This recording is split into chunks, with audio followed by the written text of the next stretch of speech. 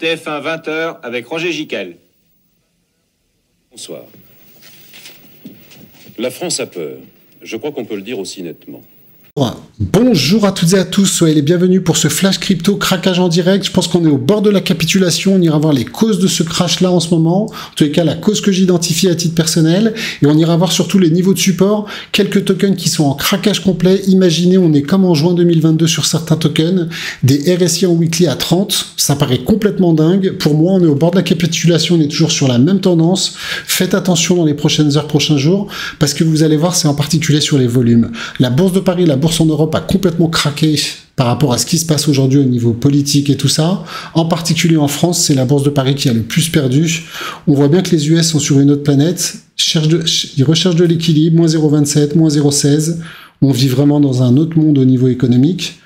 Ensuite, ce que je voulais dire très rapidement, petite mise à jour par rapport au subnet. Il y a deux nouveaux subnets sur Tao, c'est la bonne nouvelle. J'ai une bonne et une mauvaise nouvelle. La mauvaise nouvelle, vous verrez ce qui peut être interprété comme une bonne, mais à court terme, pour moi, c'est une mauvaise nouvelle. Je ne sais pas si ce sont les validateurs ou les mineurs de Tao, ils sont en train de se décharger. Je le suis tous les jours, donc c'est un truc que je regarde, c'est le taux de tokens déstackés. Il y en a 1 million. Il y a 6 mois, on était à 500, 600 000. Donc là, il y a vraiment des gros, voilà, des gros, grosses baleines qui vendent. S'ils déstackent, c'est pour vendre. Donc tout ça, c'est sur les exchanges. Ça, c'est la mauvaise vision, quand la vision un peu négative. Et ça, il faut s'y préparer. Il y a une pression vendeuse qui arrive et qui va continuer, je pense. La bonne nouvelle, c'est que derrière, vous le savez, potentiellement, il y a peut-être un Coinbase ou un truc comme ça qui va sortir parce que comme Binance, avant de pouvoir lister, ils ont besoin d'avoir des tokens pour pouvoir faire vivre la, plateforme. Et donc, ils en achètent, ils en accumulent pas mal. Et donc, peut-être qu'il y a ce genre de nouvelles qui peut arriver. Et l'autre bonne nouvelle pour moi qui est super intéressante, c'est que vu qu'il y a pas mal de gens qui déstackent, souvenez-vous, il y a un an, on était à 30%, ça n'a pas arrêté de chuter jusqu'à 14,5-15% on a pris 2% de taux de stacking en même pas un mois. Et je pense que ça peut continuer à se rapprocher des 20%.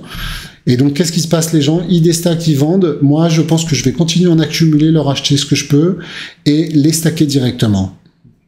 Donc, je fais le contraire de ce qu'on est en train de voir sur euh, Tao. Les gens, ils déstackent et ils vendent en ce moment. Et là, ce que je voulais vraiment vous partager, parce que je pense qu'il faut analyser simplement la situation, il y a 48 heures, il y a 24 heures, on était à 35-40 milliards de volumes. Les volumes ont presque perdu 50%, 40% au moins. Ça a complètement chuté. Et donc, il suffit qu'il y ait très peu d'ordres de vente pour que ça chute. Il n'y a pas beaucoup d'acheteurs euh, là tout de suite.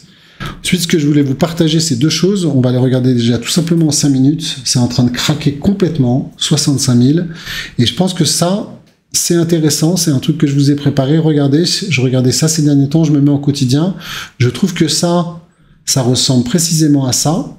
Mais si c'est une forme, pour moi, c'est pas une vraie analyse. Je vais vous dire pourquoi je trouve que ça ressemble. C'est que le RSI en quotidien, je vais le regarder aussi de temps en temps. Et regardez ce qui s'est passé. La dernière fois qu'on est venu sur les 35 de RSI, c'était ici. Ici, on est même descendu à 34. Et ici, on n'est pas loin. On n'est pas loin, on n'est pas encore dans la cible. On va laisser ça et comme ça vous verrez peut-être dans les week-ends on ira là.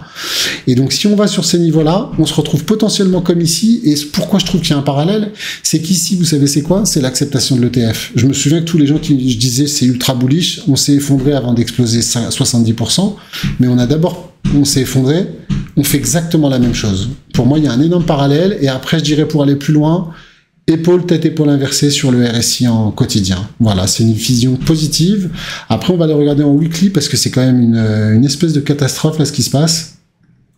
Mais je pense qu'on est dans de la survente. Hop. Donc, ouais, double top sur le ici. Ici, on à combien là? Hop, on va aller regarder. Je pense que les opportunités à l'appel. Alors, ce que j'ai oublié de regarder, ici, on va enlever ça. Je voulais aussi regarder en 5 minutes. Waouh 292, il y en a, ils l'ont chopé à 292. Par contre, faites attention, il y en a, ils l'ont chopé ici, ils croyaient que ça repartait. Regardez, ça tige. Est-ce que ça nous fait un trend? Pareil, ça devient hallucinant sur euh, CKB, on va les regarder en weekly. Donc là, est-ce qu'on va rebondir sur la MM50 en weekly Je pense que ça peut être un, bon truc. Sinon, c'est les 200. On arrive dans la fameuse zone autour des 300. Pour moi, c'est un énorme cadeau, tout simplement. J'assume complètement. Et tout simplement, j'en ai pris aujourd'hui. Je vais en reprendre demain si ça continue. Si, en tous les cas, sous les 300, je reprendrai. Je suis en train de convertir du Bitcoin en Tao, tout simplement. On se rapproche des 40. Waouh, on casse les 50 sur, euh, sur, euh, sur CKB, on arrive dans la zone de fou. 40, c'est fou, on casse les 40 sur tout là. 40, et je voulais vous montrer Kant parce que c'est irréel. Et moi, c'est le genre de situation que je cherche à...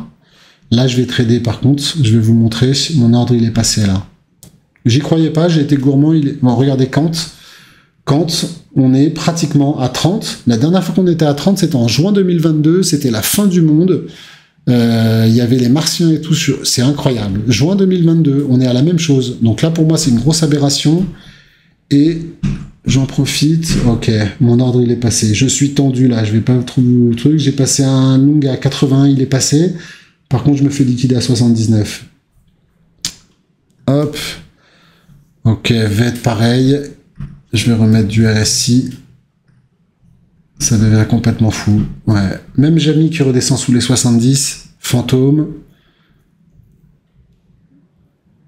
J'ai pas envie de dire que c'est un moment parfait pour recharger parce que peut-être qu'on va aller plus bas. Voilà, Binance c'est normal, à un moment donné il se replie, il était dans, les nuages. Fetch, c'est incroyable comment ça chute. Ouais, énormément de, énormément. Maintenant on se retrouve avec des RSI sous les 50.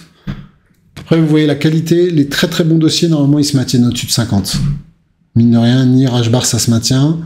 L'euro dollar, bah, là, il craque complètement avec ce qu'on voit. Et il se rapproche des 60. Il était à 70 il y a deux jours. Ça va super vite. On est à 60, c'est pas plus mal. J'espère qu'il va aller à 50 comme ça une fois pour toutes.